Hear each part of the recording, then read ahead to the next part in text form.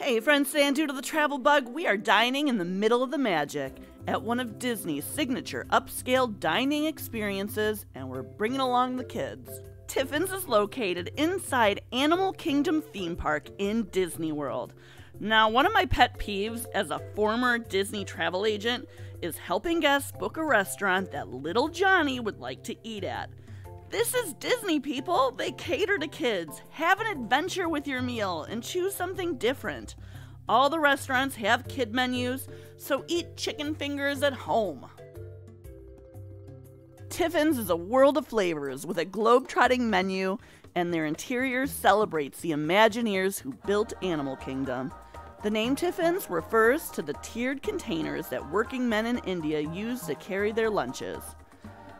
We start our dining experience next door at Nomad Lounge. Nomads make specialty cocktails and mocktails from across the globe. I got a Annapurna Zing, gin, passion fruit puree, mint, lime juice, and topped off with ginger beer. Our table is ready, and we're escorted into one of the three dining rooms that honor the spirit of Africa and Asia.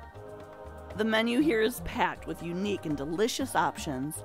Mr. Travelbug and I decide to split the whole fried fish with coconut fried rice entree. The kid menu here has a create your own option where the kids pick a protein to be served on a skewer with their two favorite kid friendly sides. I'm so happy they had something when I had. That you like is on there? What did you order? Shrimp. Shrimp, you do like shrimp. Or fried shrimp. Yeah, and I think it's gonna look a little different, but we try new things, right? Yeah. Cool. Marco, what'd you order?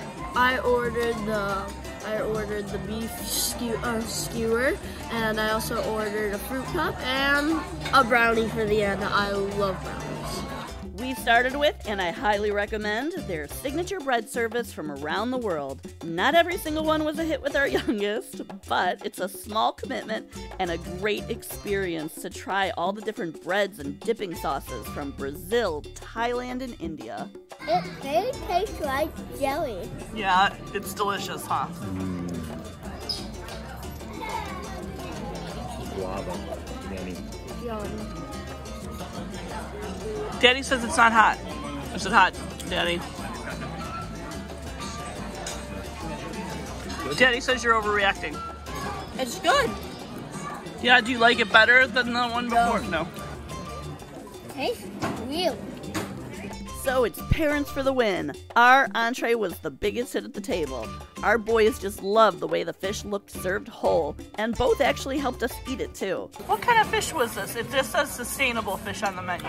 Um, this one was striped bass. It's a good very fish. Good. Yeah, very meaty. Yeah. Yeah. Yeah. Very good. There was a. We were Very afraid that it would be a lot of work involved and very little meat, but not Yeah. the case, huh? No, it was very easy to stay away from the bones and big chunks of white meat, and it was really, really good. The kids' meals still fit the traveler's theme, with being skewers with light glazes of ginger and tamari, but plain enough for the kid palate. And of course, we finish with dessert because today we are celebrating.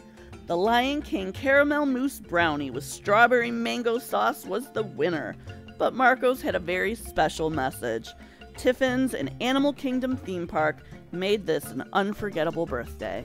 Dear Marco, happy birthday to you. Cha cha cha. Blew out my imaginary candle. For more unique travel shows, like and subscribe to see where Doodlebug goes next. You'll build Haley.